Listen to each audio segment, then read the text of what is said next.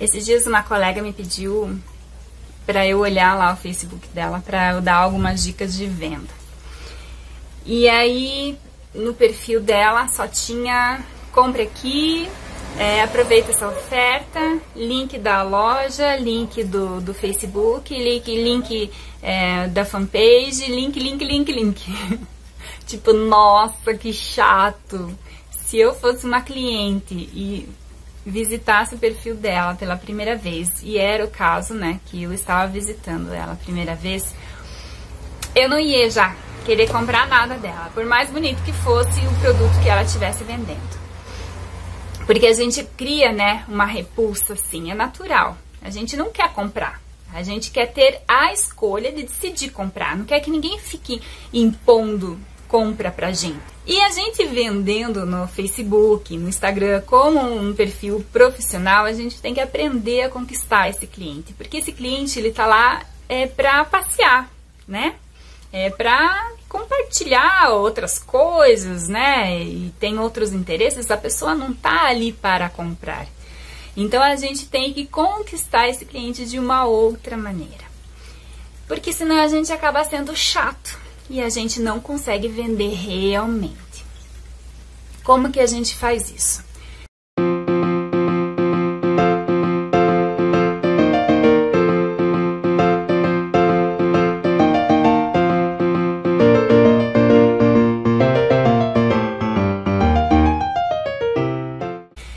É, primeiro, tem que saber onde vender né? Não vai vender teu produto num grupo de artesanato ou num grupo que faz a mesma coisa que você que está querendo aprender. Ali não é grupo para isso. Onde divulgar? Em grupo de festa, em grupo de mães, em grupo, né? Sei lá o que, que você vende, o que, que você faz. Mas eu estou falando aqui para pessoas que fazem artesanato então, provavelmente, né, é dentro desses grupos. Grupos que gostam de artesanato também, né, pode ter uma venda ou outra, mas não é focado para isso. Dentro do teu perfil, você faz uma postagem é, bacana, mostrando o teu cantinho, mostrando o teu ateliê, mostrando é, os teus materiais, mostrando o teu dia a dia, grava uns stories bem rapidinho, não precisa você aparecer, né? Grava ali você trabalhando, é, mostra né, o, o, andamento do teu, do teu trabalho para as pessoas, é isso cria um vínculo muito legal, porque as pessoas que acompanham a gente há tanto tempo veem o nosso crescimento, torcem pela gente, né? E querem ver a nossa conquista. Então isso é bem interessante, tanto para cliente quanto para as colegas, né, que acompanham a gente. Crie postagens interessantes para as pessoas quererem ficar ali, para elas quererem se sentirem acolhidas por, por aquela postagem. Então, às vezes postagens com mensagens motivacionais, postagens contando como é que você tá naquele dia, postagens, tem gente que não quer, né, se envolver, que não quer é, misturar muito, mas eu acho que isso cria um vínculo bem, bem legal.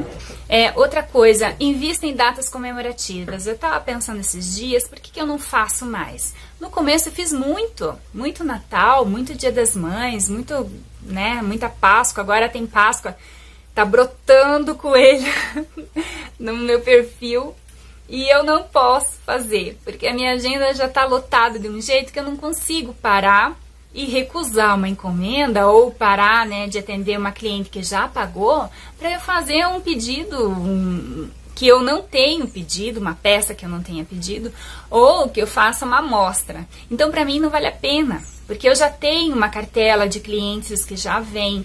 Se né, eu precisasse, que nem no começo, eu precisava, é, eu faria assim, né? Porque tem que aproveitar essa leva de monte de gente fazendo. Às vezes é a oportunidade de quem está começando. Às vezes começa aí, na Páscoa, né? Começa no Dia das Mães, começa em festa junina, tem gente que procura peças, né, de artesanato para comprar e, enfim.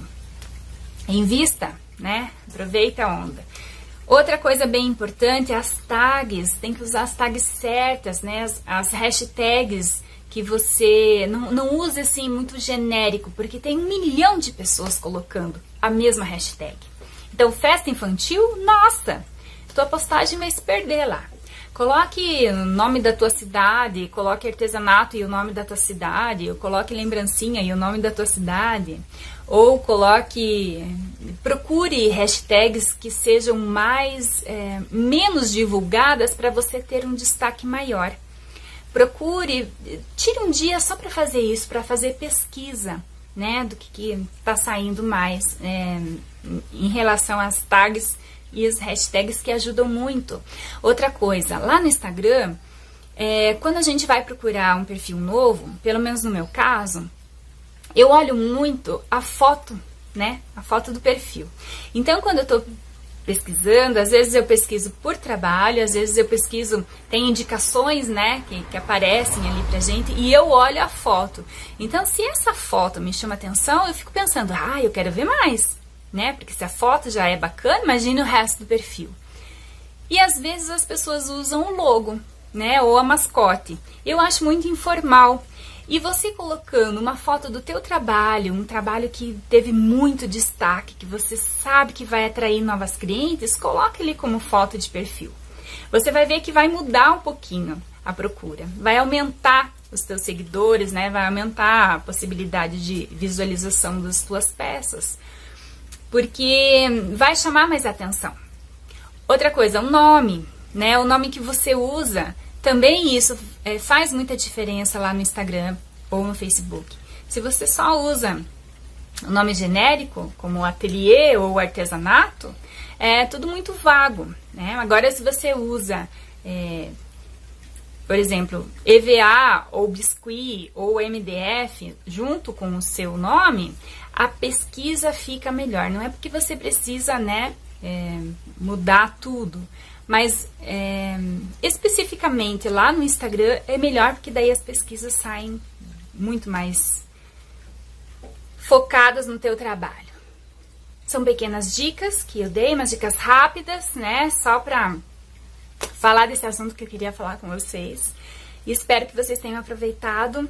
Se vocês têm outras dicas que eu ainda não falei aqui, falem para mim aqui na descrição, na, nos comentários. Eu gosto de ler o que vocês deixam e sempre estou respondendo, entrando em contato com vocês. Adoro esse carinho que vocês me deixam.